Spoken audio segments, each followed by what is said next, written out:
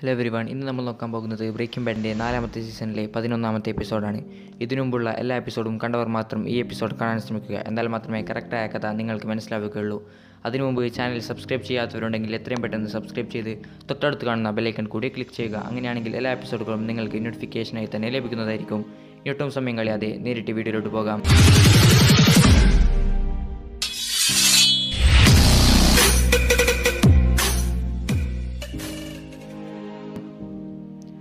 എപ്പിസോഡിന്റെ തുടക്കത്തിൽ തന്നെ നമ്മൾ കാണുന്നത് ഒരു ക്യാമ്പ് കെട്ടി അവിടെ ഒരുപാട് ഡോക്ടേഴ്സും മറ്റും അവിടെ അറേഞ്ച് ചെയ്യുകയാണ്. ഈ സമയം തന്നെ അയാൾക്ക് കോൾ വരികയും അയാൾ പെട്ടെന്ന് സ്ട്രെച്ചർ എടുത്ത് പുറത്തേക്ക് പോവുകയാണ്. ഈ സമയം തന്നെ ജെസ്സി കാറുമായി അവിടെ വരുന്നു. എന്നിട്ട് പോളോസിനെയും എടുത്തുകൊണ്ട് അവർ പോവുകയാണ്. ഈ സമയം ജെസ്സി പറയുന്നുണ്ട് മൈക്കിന് വെടിയേറ്റിട്ടുണ്ട് അവനെയും രക്ഷിക്കൂ എന്ന് പറയുകയാണ്. ഈ സമയം ഡോക്ടേഴ്സ് ആണെങ്കിൽ ഒന്നും ചെയ്യാതെ തന്നെ ഇരിക്കുകയാണ്.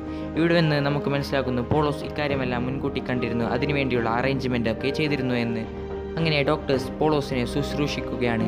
ഈ സമയമാണെങ്കിൽ ജെസ്സി മൈക്കിനെയും കൊണ്ടുവരുന്നു എന്നിട്ട് പറയുന്നു ഇദ്ദേഹത്തിനെയും ചികിത്സയ്ക്ക് ഇദ്ദേഹത്തിന് വെടികൊണ്ടിട്ടുണ്ട് എന്ന് പറയുന്നു. ഈ സമയം ഡോക്ടേഴ്സ് പറയുകയാണ് എനിക്ക് ശമ്പളം തരുന്നത് ഇയാളാണ്. അതുകൊണ്ട് ഇയാൾക്കാണ് മുൻഗണന എന്നും പറഞ്ഞ് പോളോസിനെ മാത്രം ചികിത്സിക്കുകയാണ് നമ്മൾ കാണുന്നത്. അവിടെ വെച്ച് ടൈറ്റിലിട്ട് കാണിക്കുന്നു ബ്രേക്കിംഗ് ബാഡ് ശേഷം നമ്മൾ കാണുന്നത് വാൾട്ടറിന്റെ ലാബാണ്. അവിടെയാണെങ്കിൽ ജെസ്സി ഇല്ലാത്തത് വാൾട്ടർ തന്നെ ഒറ്റയ്ക്ക് കുക്ക് ചെയ്യുകയായിരുന്നു. അങ്ങനെ കുക്കൊക്കെ ചെയ്ത് വാൾട്ടർ അവിടുത്തെ പോളോസിന്റെ അനുയായിയോട് പറയുകയാണ് ഹാങ്ക് ഇന്ന് അവിടെ സന്ദർശിക്കാൻ വരും. അതുകൊണ്ട് എല്ലാം നിങ്ങൾ മാറ്റിയിട്ടുണ്ടല്ലോ എന്നൊക്കെ ചോദിക്കുകയാണ്. ഈ സമയം അയാൾ ഒന്നും പറയാതെ പോവുകയാണ്. ശേഷം നമ്മൾ കാണുന്നത് ഹാങ്കും വാൾട്ടറും ദൂരെ നിന്ന് ആ പോളോസിന്റെ ഫാമാണെങ്കിൽ നിരീക്ഷിക്കുകയാണ്. അങ്ങനെ ഹാങ്ക് നിരീക്ഷിച്ചതിന് ശേഷം പറയുകയാണ് ഇവിടെ ഒന്നും തന്നെ എനിക്ക് കാണാൻ കഴിയുന്നില്ല എന്ന് പറയുന്നു. ഈ സമയം വാൾട്ടർ പറയുന്നു അങ്ങനെ ഒന്നും തന്നെ പോളോസിന് ഉണ്ടായിരിക്കില്ല എന്നൊക്കെ പറഞ്ഞ് ഹാങ്കിനെ അവിടെ നിന്ന് പിന്തിരിപ്പിക്കാൻ നോക്കുകയാണ്. ഈ സമയം ഹാങ്ക് പറയുന്നുണ്ട് ന്യൂ മെക്സിക്കോയിൽ ഒരുപാട് മാഫിയ സംഘങ്ങളൊക്കെ മരിച്ചതായി റിപ്പോർട്ട് ചെയ്തിട്ടുണ്ട് എന്ന് പറയുകയാണ്. ഈ സമയം നമുക്ക് മനസ്സിലാക്കുന്നു അത് പോളോസ് കൊന്ന ആളാണെന്ന്. ശേഷം നമ്മൾ കാണുന്നത് പോളോസിന്റെ ആ ആശുപത്രി തന്നെയാണ്. അതായത് ക്യാമ്പിലെ ഡോക്ടേഴ്സിന്റെയാണ് ഈ സമയം എവിടെയാണെങ്കിൽ പോളോസിന് ആരോഗ്യമൊക്കെ വീണ്ടെടുത്ത് പോളോസ് പുറത്തിറങ്ങുകയാണ്. ശേഷം ഡോക്ടേഴ്സൊക്കെ മൈക്കിനെ ശുശ്രൂഷിക്കുകയാണ് നമ്മൾ കാണുന്നത്. ഈ സമയം വലിയ കെയർ ഒന്നും മൈക്കിന് കൊടുത്തിരുന്നില്ല. ഈ സമയം മൈക്കിന് രക്തം കയറ്റുന്ന സമയത്ത് ജെസ്സിയോട് തന്നെ അതൊക്കെ ചെയ്യാൻ പറയുകയാണ്. ഈ സമയം അവിടെ ഫ്രിഡ്ജിലാണെങ്കിൽ ജെസ്സിയുടെയും മൈക്കിന്റെയും പോളോസിന്റെയും എല്ലാവരുടെയും രക്തഗ്രൂപ്പിലുള്ള രക്തമൊക്കെ ഉണ്ടായിരുന്നു. ഈ സമയം നമുക്ക് മനസ്സിലാകുന്നു. പോളോസ് ഇതൊക്കെ എത്രയോ മുൻകൂട്ടി കണ്ടിരുന്നെന്നും അവർക്ക് അവർക്ക് ആവശ്യമായ രക്തമൊക്കെ മുൻകൂട്ടി അറേഞ്ച് ചെയ്തിരുന്നു എന്ന്. അങ്ങനെ ജെസ്സി മൈക്കിന് ആവശ്യമായ രക്തം അവിടെ നിന്നെടുത്ത് മൈക്കിന് കൊടുക്കുകയാണ്. ശേഷം പോളോസ് ആണെങ്കിൽ പുറത്തിറങ്ങി ജെസ്സിയോട് സംസാരിക്കുകയാണ്. എന്നിട്ട് പറയുന്നു നമ്മൾക്ക് പുറത്തു പോകാം. മൈക്കിന് ഒരാഴ്ചയെങ്കിലും ഇവിടെ തന്നെ തങ്ങേണ്ടി വരും. കാരണം അയാൾക്ക് വെടിയേറ്റിട്ടുണ്ട് എന്നൊക്കെ പറയുകയാണ്. എന്നിട്ട് പോളോസും ജെസ്സിയും പുറത്തിറങ്ങുകയാണ്. ഈ സമയം പോളോസ് ജെസ്സിയോട് പറയുന്നുണ്ട് നീ ഇന്ന് ചെയ്തത് വളരെ നന്നായിരുന്നു. നിനക്ക് നന്നായി വെടിവെക്കാൻ അറിയുന്നുണ്ട്. നീ നല്ല ആൾ തന്നെയാണ്. മാത്രമല്ല നിനക്ക് ഒറ്റയ്ക്ക് ലാബ് മുൻപോട്ട് കൊണ്ടുപോകാൻ കഴിയുമെന്നൊക്കെ പറയുകയാണ്. ഈ സമയം ജെസ്സി പറയുന്നുണ്ട് നിങ്ങൾക്ക് ഞാൻ ഒറ്റയ്ക്ക് ലാബ് ചെയ്യണമെന്നുണ്ടെങ്കിൽ എനിക്കറിയാം. പക്ഷേ അതിനുവേണ്ടി നിങ്ങൾ വാൾട്ടറിനെ കൊല്ലരുത്. അയാൾക്ക് പണം കൊടുത്ത് ഒഴിവാക്കൂ എന്നൊക്കെ പറയുകയാണ്. ഈ സമയം പോളോസ് ഒന്നും പറയാതെ അവിടെ നിന്ന് പോവുകയാണ് നമ്മൾ കാണുന്നത്. പിന്നീട് നമ്മൾ കാണുന്നത് സ്കെയിലറിന്റെ വീടാണ്. അവിടെയാണെങ്കിൽ സ്കെയിലറിന് ടെഡ് മെസ്സേജ് അയക്കുകയാണ് നീ എത്രയും പെട്ടെന്ന് വീട്ടിൽ വേണമെന്ന് അങ്ങനെ സ്കെയിലർ ടെഡിന്റെ വീട്ടിൽ പോകുന്നു. എന്നിട്ട് ടെഡ് സ്കെയിലറിനോട് സംസാരിക്കുന്നു. എന്നിട്ട് പറയുന്നു ഇപ്പോഴാണ് എനിക്ക് കാര്യങ്ങൾ മനസ്സിലായത്. എനിക്ക് പണം തന്നതൊക്കെ നീയായിരുന്നു അല്ലേ? എന്ന്. എന്നിട്ട് പറയുന്നു ഇത് വാൾട്ടർ ചൂത് കളിച്ചുണ്ടാക്കിയ പണമാണ് എന്നൊക്കെ എനിക്കറിഞ്ഞു. അതുകൊണ്ട് തന്നെ എനിക്ക് ഈ പണത്തിന്റെ ആവശ്യമില്ല. ഞാൻ എങ്ങനെയെങ്കിലും തിരിച്ചടിച്ചോളാം. സർക്കാരിന്റെ കൊടുക്കാനുള്ള പണം. നീ എനിക്ക് പണം തരണ്ട എന്ന് പറയുന്നു. ഈ സമയം സ്കെയിലർ പറയുന്നു ഞാനായിരുന്നു നിന്റെ അക്കൗണ്ടന്റ് അതുകൊണ്ട് ഞാൻ ചെയ്ത തെറ്റിന് ഞാൻ ഇതിന് പ്രാശ്ചിത്തം ചെയ്യുകയാണ്. അതുകൊണ്ട് ഇത് നീ ഫൈൻ എടുക്കുകയല്ല ഞാൻ ഫൈൻ എടുക്കുകയാണ്. അതുകൊണ്ട് നിനക്ക് പണം ഉപയോഗിക്കാം എന്ന് പറയുന്നു. പക്ഷേ എന്തൊക്കെ പറഞ്ഞിട്ടും ടെഡ് ആ പണം ഉപയോഗിക്കാതെ തിരിച്ച് സ്കെയിലറിന് തന്നെ എഴുതി കൊടുക്കുകയാണ് ചെക്കായിട്ട്. ഈ സമയം സ്കെയിലർ പറയുന്നുണ്ട് നീ ആ ചെക്ക് തിരിച്ച് സർക്കാരിനെ ഏൽപ്പിക്കൂ എന്ന്. പക്ഷേ ടെഡ് അത് കൂട്ടാക്കുന്നില്ല. ശേഷം നമ്മൾ കാണുന്നത് ദേഷ്യപ്പെട്ട് സ്കെയിലർ ആണെങ്കിൽ വണ്ടിയിൽ കയറുകയാണ്. എന്നിട്ട് സോൾ ഗുഡ് ബാനെ വിളിക്കുന്നു. എന്നിട്ട് പറയുന്നു എത്രയും പെട്ടെന്ന് ഗുണ്ടകളെ അറേഞ്ച് ചെയ്യൂ. അവനെ ഭീഷണിപ്പെടുത്തിയിട്ട് തന്നെ നമ്മൾക്ക് കാര്യം സാധിക്കാമെന്ന് പറയുകയാണ്. പിന്നീട് നമ്മൾ കാണുന്നത് വൃദ്ധാശ്രമമാണ്. അവിടെയാണെങ്കിൽ ഹെക്ടർ ഉണ്ടായിരുന്നു. അതായത് ടൂക്കയുടെ അമ്മാവൻ അവിടേക്ക് പോളോസ് വരികയാണ്. എന്നിട്ട് ഹെക്ടറിനോട് സംസാരിക്കുന്നു. എന്നിട്ട് പറയുന്നു ഞാൻ എല്ലാവരെയും കൊന്നു. ഇപ്പോൾ ഞാൻ മാത്രമാണ് മെത്തിന്റെ രാജാവ് എന്നൊക്കെ പറയുകയാണ്. എന്നിട്ട് ഹെക്ടറിനോട് കൂട്ടിച്ചേർക്കുന്നുണ്ട് ഞാൻ എല്ലാവരെയും കൊന്ന കൂട്ടത്തിൽ നിന്റെ കൊച്ചുമകനും അവിടെ ഉണ്ടായിരുന്നു. അവനോട് ഞാൻ ഓടിക്കോളാൻ പറഞ്ഞതാണ്. പക്ഷെ അവൻ എനിക്കെതിരെ തിരിഞ്ഞു. അതുകൊണ്ട് അവനെയും കൊല്ലേണ്ടി വന്നു. ഇനി നിന്റെ കുടുംബത്തിൽ നീ മരിച്ചാൽ ആരുമില്ല എന്നൊക്കെ പറഞ്ഞ് ഹെക്ടറിനെ അവിടെ ഇട്ട് പോവുകയാണ് നമ്മൾ കാണുന്നത്. ശേഷം നമ്മൾ കാണുന്നത് വാൾട്ടർ ആണെങ്കിൽ ഹാങ്കിനെയും കൂട്ടി പിറ്റേ ദിവസവും ചിക്കൻ ഫാമിലെ അവിടെ സന്ദർശിക്കാൻ പോവുകയാണ്. എന്നിട്ട് വാൾട്ടറും ഹാങ്കും സംസാരിക്കുകയാണ്. ഈ സമയം ഹാങ്ക് പറയുന്നുണ്ട് കഴിഞ്ഞ ദിവസം ന്യൂ മെക്സിക്കോയിൽ ഒരുപാട് ആൾക്കാർ മരിച്ചിരുന്നു. അവരൊക്കെ ഡ്രഗ് യൂസ് ചെയ്യുകയും ബിസിനസ് ചെയ്യുന്നതും ആളാണ് എന്നൊക്കെ ഡി എ തിരിച്ചറിഞ്ഞിട്ടുണ്ട് എന്നൊക്കെ പറയുകയാണ്. അങ്ങനെ വാൾട്ടർ ഹാങ്കും സംസാരിച്ചു കൊണ്ടിരിക്കുകയാണ് ഈ സമയം ഹാങ്ക് പറയുന്നു ഇന്ന് നമ്മൾ ചിക്കൻ ഫാമിലല്ല അന്വേഷിക്കാൻ പോകുന്നത്. പോളോസിന്റെ ഉടമസ്ഥതയിൽ ഒരു അലക്ക് കമ്പനിയുണ്ട്. അവിടെ നമ്മൾ എന്തുകൊണ്ട് അന്വേഷിച്ചുകൂടാ ചിലപ്പോൾ അവിടെയായിരിക്കും അദ്ദേഹം എല്ലാ കാര്യവും ചെയ്യുന്നത്. കാരണം അവിടെയാകുമ്പോൾ ആർക്കും അറിയില്ല. കാരണം അവിടെ വേസ്റ്റൊക്കെ പുറത്തേക്ക് തള്ളുന്നത്. മെത്തുണ്ടാക്കുന്ന വേസ്റ്റും പുറത്ത് തള്ളുന്നത് അതുവഴി തന്നെയായിരിക്കും എന്നൊക്കെ പറയുകയാണ്. ഈ സമയം വാൾട്ടറിന് കൺഫ്യൂഷൻ ആവുകയാണ്. കാരണം അവിടെ വെച്ച് അന്വേഷിക്കുകയാണെങ്കിൽ വാൾട്ടറാണ് കുക്ക് ചെയ്യുന്നത് എന്നൊക്കെ ഹാങ്കിന് അറിയുമെന്ന് വാൾട്ടർ മനസ്സിലാവുകയാണ്. എന്നിട്ട് പറയുന്നു നമ്മൾ അത് അന്വേഷിക്കേണ്ടതുണ്ടോ? എന്ന് പറയുകയാണ്. ഈ സമയം ഹാങ്ക് ഉണ്ട് നമ്മൾ അന്വേഷിക്കേണ്ടതുണ്ട് എന്ന് പറയുന്നു. അങ്ങനെ അവർ അലക്ക് കമ്പനിയിലേക്ക് പോവുകയാണ്. ഈ സമയം അലക്ക് കമ്പനിയിലേക്ക് എത്താതായതും വാൾട്ടർ മനഃപൂർവം വണ്ടി ആക്സിഡന്റ് അയക്കുകയാണ് നമ്മൾ കാണുന്നത്. അങ്ങനെ രണ്ടുപേരും ആശുപത്രിയിലേക്ക് പോകുന്നു. പിന്നീട് നമ്മൾ കാണുന്നത് ഹാങ്കിന്റെ വീടാണ്. അവിടെയാണെങ്കിൽ ഹാങ്കിനും വാൾട്ടറിനും സാരമായി പരിക്കേറ്റിരുന്നു. അങ്ങനെ വാൾട്ടർ പറയുന്നുണ്ട് ഞാൻ അറിയാതെ തിരിച്ചതാണ് വണ്ടി എതിരെ വന്നത് ഞാൻ കണ്ടില്ല എന്നൊക്കെ ഹാങ്കിനോട് പറയുകയാണ്. ഇസം ഹാങ്കി സാരമില്ല എന്നൊക്കെ പറയുകയാണ് നമ്മൾ കാണുന്നത്.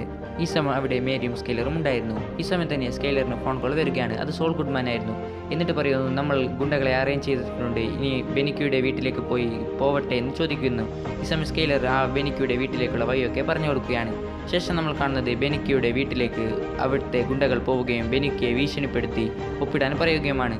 അങ്ങനെ ടെഡ് ബെനിക്കാണെങ്കിൽ പേടിച്ച് ഗുണ്ടകളെ പേടിച്ച് അവസാനം സർക്കാരിന് കൊടുക്കാനുള്ള പണം ചെക്കായി എഴുതിയെടുക്കുകയാണ് നമ്മൾ കാണുന്നത്. ടെഡ് ബെനിക്ക് വിചാരിച്ചിരുന്നത് ഇത് സ്കെയിലർ അയച്ചതാണെന്ന് ടെഡിന് അറിയാമായിരുന്നില്ല. ടെഡ് വിചാരിച്ചിരുന്നത് ഇത് സർക്കാരിന്റെ ഏജന്റുകളൊക്കെ വന്ന് പണം വാങ്ങിക്കുന്നതാണ് എന്നാണ്. അങ്ങനെ ടെഡാണെങ്കിൽ അവിടെ നിന്ന് ഓടി രക്ഷപ്പെടാൻ ശ്രമിക്കുന്നുണ്ടെങ്കിലും തട്ടിത്തടഞ്ഞ് അവിടെ തന്നെ വീണ്ടും വീഴുകയാണ് നമ്മൾ കാണുന്നത്. അവിടെ വെച്ച് ടെഡിന് സാരമായി പരിക്കേൽക്കുകയാണ്.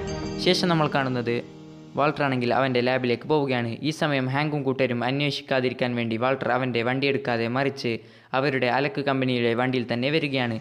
എന്നിട്ട് ലാബിലേക്ക് പോകുന്നു. ഈ സമയം വാൾട്ടർ പറയുകയാണ് ഇവിടെ സാധനങ്ങളൊക്കെ കുറഞ്ഞിട്ടുണ്ട്. ഇവിടെ ആരെങ്കിലും കുക്ക് ചെയ്തിട്ടുണ്ടോ? എന്ന് ചോദിക്കുന്നു.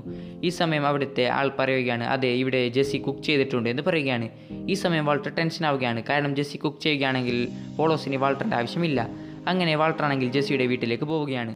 ഈ സമയം ജെസ്സി ആണെങ്കിൽ വാൾട്ടറിനെ വലിയ മൈൻഡൊന്നും ചെയ്യുന്നുണ്ടായിരുന്നില്ല. ഈ സമയം വാൾട്ടർ പറയുകയാണ് നീ മെത്ത് കുക്ക് ചെയ്യുകയാണെങ്കിൽ അവർ എന്നെ കൊല്ലും. അത് നിനക്കറിയാമല്ലേ? വേറെ ഒരാളെ കിട്ടിയാൽ നിന്നെയും അയാൾ കൊല്ലും എന്നൊക്കെ പറയുകയാണ്. ഈ സമയം ജെസ്സി ഒന്നും പറയുന്നില്ല. അങ്ങനെ വാൾട്ടർ പറയുകയാണ് നീ എന്നെ രക്ഷിക്കണം എന്നൊക്കെ പറയുന്നു. ഈ സമയം ജെസ്സി പറയുന്നു എങ്ങനെയാണ് മെത്ത് കുക്ക് ചെയ്യേണ്ടത് എന്ന് ഞാൻ ന്യൂ മെക്സിക്കോയിലെ ആൾക്കാർക്ക് പറഞ്ഞു കൊടുക്കാൻ അയച്ചപ്പോൾ എങ്ങനെയാണ് നീ എനിക്ക് പഠിപ്പിച്ചു തന്നിരുന്നില്ലല്ലോ? നീ പറഞ്ഞത് ന്യൂ മെക്സിക്കോയിൽ പോയി ഞാൻ മരിക്കുമെന്നൊക്കെയല്ലേ? എന്നിട്ടിപ്പോൾ ഞാൻ തിരിച്ചു വന്നിരിക്കുകയാണ്. അതുകൊണ്ട് നിന്റെ കാര്യം നീ എന്താണെന്ന് വെച്ചാൽ ചെയ്യ്. എനിക്കൊന്നും ചെയ്യാൻ പറ്റില്ല എന്നും പറഞ്ഞ് ജെസ്സി ആണെങ്കിൽ വാൾട്ടറിനെ കൈയൊഴുകയാണ് ഈ സമയം തന്നെ പോളോസിന്റെ ആൾക്കാരാണെങ്കിൽ വാൾട്ടറിനെ പിടിച്ചു പോവുകയാണ് നമ്മൾ കാണുന്നത്. ശേഷം നമ്മൾ കാണുന്നത് പിറ്റേ ദിവസമായപ്പോൾ വിജനമായ പ്രദേശത്ത് വാൾട്ടറിനെ അവർ തുറന്നു വിടുകയാണ്. ഈ സമയം അവിടെ പോളോസ് ഉണ്ടായിരുന്നു. എന്നിട്ട് പോളോസ് പറയുകയാണ് എത്രയും പെട്ടെന്ന് തന്നെ നീ ഇവിടെ നിന്ന് നാട് വിട്ടു പോകണം. ഇനി ഞാനും നീയും ഒരു ബന്ധവുമില്ല. എനിക്ക് ജെസ്സി തന്നെ കുക്ക് ചെയ്ത് തന്നോളും. അതുകൊണ്ട് ഞാനും നീയും ഇവിടെ ഉണ്ടായിരുന്ന കാര്യം ഞാനും നീയും തമ്മിലുള്ള ബന്ധവും ആരും അറിയാതിരിക്കാൻ നീ എത്രയും പെട്ടെന്ന് നാട് വിടണം. അല്ലെങ്കിൽ നിന്റെയും നിന്റെ കുടുംബത്തെയും ഞാൻ കൊല്ലുമെന്നൊക്കെ പറയുകയാണ്. അങ്ങനെ വാൾട്ടർ പേടിച്ച് അവിടെ നിന്ന് നാടുവിടാൻ തീരുമാനിക്കുകയാണ് നമ്മൾ കാണുന്നത്. ശേഷം നമ്മൾ കാണുന്നത് പോളോസിന്റെ ഓഫീസാണ്. അവിടെ വെച്ച് പോളോസ് അയച്ച ഗുണ്ടകൾ പറയുകയാണ് ടെഡിന് സാരമായി പരിക്കേറ്റിട്ടുണ്ട്. അയാൾ ഇപ്പോൾ ആശുപത്രിയിലാണ് എന്നൊക്കെ പറയുകയാണ്. ഈ സമയം തന്നെ അവിടേക്ക് വാൾട്ടർ പാഞ്ഞുകൊണ്ട് വരികയാണ്. എന്നിട്ട് പറയുകയാണ് എനിക്ക് എത്രയും പെട്ടെന്ന് തന്നെ ഈ നാട് വിടണം. എനിക്ക് വേറൊരു ഐ ഡി വേണം. എനിക്ക് വേറൊരു പാസ്പോർട്ട് വേണം. എത്രയും പെട്ടെന്ന് അറേഞ്ച് ചെയ്ത് തരൂ. എന്റെ കുടുംബത്തിന് വേണമെന്നൊക്കെ പറയുകയാണ്. ഈ സമയം സോൾ ഗുഡ്മാൻ പറയുകയാണ് നീ ഒന്ന് സമാധാനപ്പെട് എന്താണ് ഉണ്ടായത്? എന്നൊക്കെ ചോദിക്കുന്നു. ഈ സമയം വാൾട്ടർ ദേഷ്യപ്പെട്ട് പറയുകയാണ് എന്നെ ഇപ്പോൾ തന്നെ പോലോ പോളോസ് കൊല്ലും. അതിനുമുമ്പ് എനിക്ക് ഈ നാട് വിടണം. നീ വേറെ ഒരാളെ കുറിച്ച് പറഞ്ഞിരുന്നല്ലോ നാട് കടത്തി തരുന്ന ആൾ. എനിക്ക് അങ്ങനെ വേറെ ആളുടെ ഐഡന്റിറ്റിയിൽ ഈ നാട് വിടണം അയാളുടെ നമ്പർ താ എന്നൊക്കെ പറയുകയാണ്. അങ്ങനെ സോൾ ഗുഡ്മാൻ അയാളുടെ പരിചയത്തിലുള്ള ഒരാൾക്ക് നമ്പർ കൊടുക്കുകയാണ് നമ്മൾ കാണുന്നത്. അങ്ങനെ വാൾട്ടർ അതും എടുത്ത് പെട്ടെന്ന് തന്നെ വീട്ടിലേക്ക് പോവുകയാണ്. അങ്ങനെ വാൾട്ടർ അവന്റെ കയ്യിലുണ്ടായിരുന്ന മാക്സിമം പണവും എടുത്ത് നാടുവിടാനായിരുന്നു തീരുമാനിച്ചിരുന്നത്. ഈ സമയം സോൾ ഗുഡ്മാൻ പറയുകയാണ് അദ്ദേഹം ഒരാൾക്ക് ഒരുപാട് ചിലവാകും. അതുകൊണ്ട് നിങ്ങൾ നാല് പേരും നാട് വിടുകയാണെങ്കിൽ നിങ്ങൾ അര മില്യണിലധികം അയാൾക്ക് കൊടുക്കേണ്ടി വരുമെന്ന് പറയുകയാണ്. ഈ സമയം വാൾട്ടർ പറയുന്നു അത്രയും പണം എന്റെ കയ്യിലുണ്ട്. അതുകൊണ്ട് എനിക്ക് പ്രശ്നമല്ല. നീ എത്രയും പെട്ടെന്ന് അയാളെ അറേഞ്ച് ചെയ്യൂ എന്നൊക്കെ പറഞ്ഞ് സോൾ ഗുഡ്മാനെ അതിനെ ഏർപ്പാടാക്കുകയാണ്. എന്നിട്ട് സോൾ ഗുഡ്മാനോട് പറയുകയാണ് നീ എത്രയും പെട്ടെന്ന് ഡി എ വിളിച്ച് ഹാങ്കിന് വധഭീഷണിയുണ്ട് എന്നൊക്കെ പറയണമെന്ന് പറയുന്നു. അങ്ങനെ സോൾ ഗുഡ്മാൻ അങ്ങനെ ചെയ്യുകയാണ്. പിന്നീട് നമ്മൾ കാണുന്നത് വാൾട്ടർ അവന്റെ വീട്ടിൽ പോയി അവർ പണം ഒളിപ്പിച്ച് വെച്ച സ്ഥലത്തേക്ക് പോവുകയാണ്.